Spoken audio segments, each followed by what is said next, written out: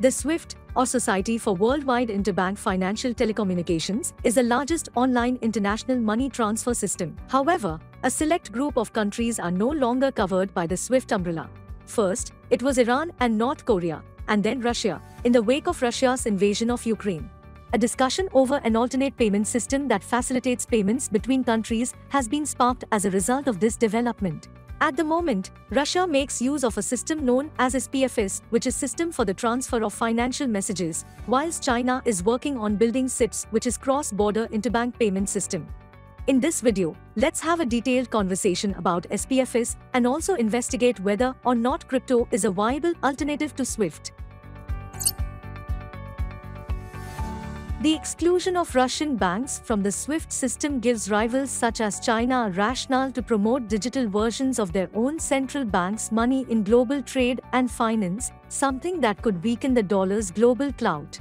One may turn over some history pages to find an answer to this. Nearly a decade ago, India started its own payment system for payments to Iran in 2012.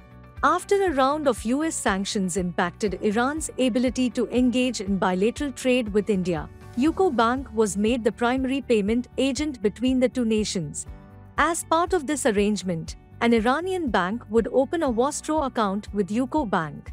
All importers from India could then submit rupee funds with this Vostro account to avail oil from Iran. Then UCO Bank would route these payments to Iran. Bilateral trade between India and Russia between April 2020 and March 2021 amounted to more than $8 billion.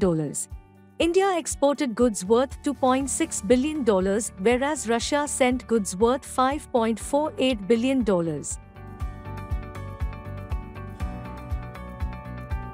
SPFS is a Russian equivalent of the SWIFT financial transfer system which was developed by the Central Bank of Russia and has been in development since 2014, when the US threatened to exclude Russia from the SWIFT system. But there are quite a few challenges in the system, the primary being that it only works within Russia with plans to integrate the network with the China-based CIPS.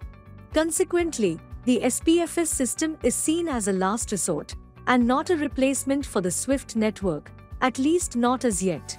There are talks to expand this system to developing nations such as Turkey and Iran. A range of agreements have been reached to link this system to other nations' payment systems in China, India, Iran, and countries inside the EU which are planning to use SPFS directly. At the end of 2020, there were 23 foreign banks connected to the SPFS from Armenia, Belarus, Germany, Kazakhstan, Kyrgyzstan, and Switzerland.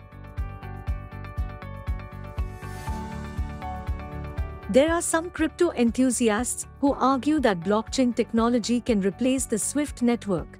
Since a blockchain is a decentralized software and each transaction is recorded on a public distributed ledger, the cross-border payments can be secure, fast and reliable. Since the price of cryptocurrencies is highly volatile, they may not be considered an effective replacement of fiat currency as yet. For instance, most digital currencies fell by as much as 9% in a day following the Russian invasion, a decline unheard of in the forex markets. As a matter of fact, Ripple, made on blockchain, is designed primarily to let banks and other financial services firms send money across borders fast and at a low cost. However, the crypto token is stuck in a legal feud with the US market regulator, the SEC, Securities and Exchange Commission. The regulator alleged the company and its executives sold $1.3 billion worth of the tokens in an unregistered securities offering. So, we can see that, as of now, there is no feasible alternative to the cross border payment system largely controlled by SWIFT, though efforts are being made by Russia led SPFS and China led CIPS and to some extent by cryptocurrencies.